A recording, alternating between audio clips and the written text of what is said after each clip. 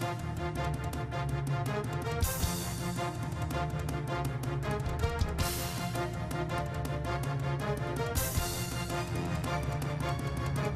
back. Здравствуйте, это программа «Наше время». Меня зовут Кирилл Политов. Он родился в маленьком поселке в Магаданской области, но всегда знал, что станет популярным и его узнает вся страна. В результате вышло так, как и задумал. Сегодня мы будем вести беседу с артистом театра, кино и эстрады Ефимом Шифриным. Здравствуйте, Ефим. Из вашего инстаграма я буквально узнал, что вот вы побывали на родине Василия Макаровича Шукшина в Сростках, на родине Михаила Сергеевича в Верхопском. А вот глядя на такую красоту Алтая, не хотелось бы отключить эти гаджеты и просто понаслаждаться природой? Объясню. Меня часто спрашивают, что я как сумасшедший, значит, привязан как это, когда кругом красота. Ну а тут. Алтай тем более. Да дело не в этом. Дело в том, что вы представьте себе дорогу. Вот сколько вот э, от э, Белокурихи до, до Барнаула? 200, 300, Ну вот 250. что, что мне делать вот, э, вот эти 300 километров? Люди спят, люди болтают, э, по, по 35-му разу рассказывают свои жизненные истории пассажирам, э, которые едут с тобой. Я, мне жалко этого времени, потрачено впустую. Мне хочется э, выступить для них свидетелем того, что я вижу. Я вижу эту красоту, значит, у меня есть желание ей поделиться. Чего я, эм, если, если я ее вижу и воспринимаю такими глазами, что, мне жалко, что ли? Мне тут же отправлю это в сеть, пускай смотрят, пускай любуются.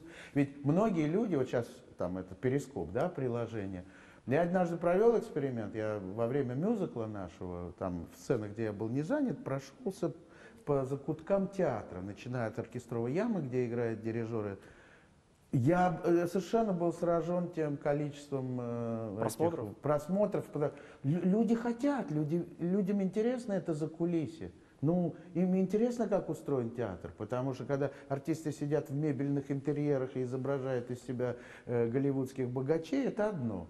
А когда мы видим эту кухню, это совершенно другое. Мы видим, как, как нельзя громко говорить за кулисами, как, как работает дирижер, как он вот краткий пот вынимает, как он успевает делать замечания, как у кого как э, тут же вышел микрофон из строя. Ну, это же интересно, это как, э, как устроена эта кухня. Точно так же устроена кухня моя дорожная. Но я делюсь этим в социальных сетях. Ну, пусть бросит камень, кому А это вот- не нравится. А вот эти остановки в Сростках, в Верхопском, это порыв души или это все-таки запланировано вами было?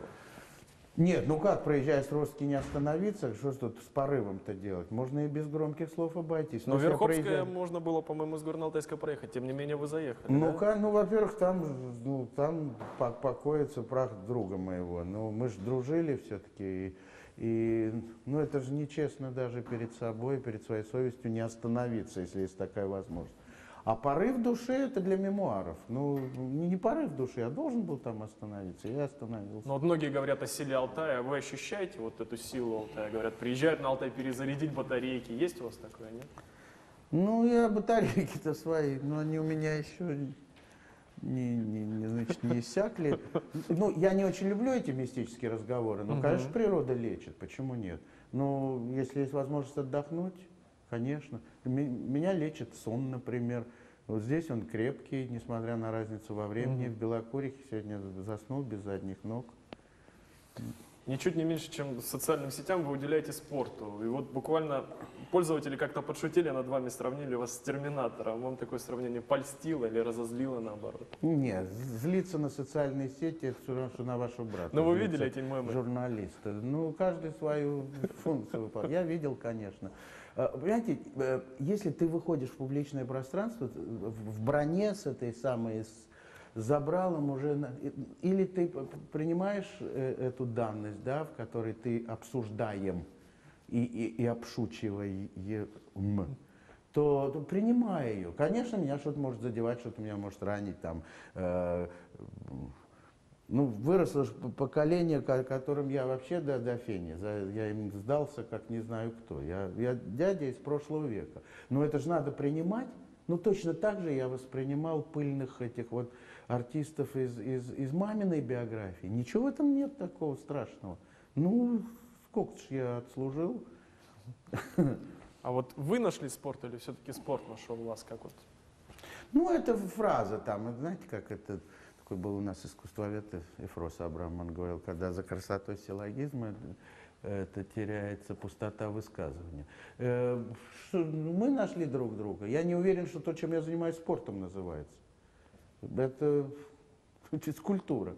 Но для меня это способ поддержать себя в форме. Я считаю, что я все правильно делаю, потому что когда, глядя на, на ровесников, э, которым 60, и мне иногда хочется расплакаться. А, а я себе это не позволяю, потому что это мои сверстники. Но, конечно, физкультура держит тебя в форме. Ну, недавно вы отпраздновали юбилей, 60 лет, а в детстве мечтали быть популярным, прославиться на всю страну. это вот так написали в Да. интернете. У меня А- не было такого желания. Я хотел, понимаете, что такое прославиться? Ага. Жить с, с мечтой только прославиться, это ну, дурацкая мечта. Ну, так может прославиться, взять и там, как Герострат что-нибудь сжечь, или там, не знаю, и попасть под лошадь, как у Чехова. Но мечта, тем не менее, Я хотел быть была. артистом, но, Ага. но сама эта профессия предполагает, э, что, что, ну, если ты чего-то там у тебя получается в профессии, то тебя уже узнают люди. Но вот как написали на одном из ресурсов, он родился и тут же захотел прославиться, Мгм. это никакого отношения к Но действительности сейчас не имеет. о чем мечтаете? Сейчас я мечтаю, чтобы у меня работа не пропала. Не в смысле, чтобы я э, вдруг мне сказали, там перестанешь ездить, потому что спроса на тебя нет.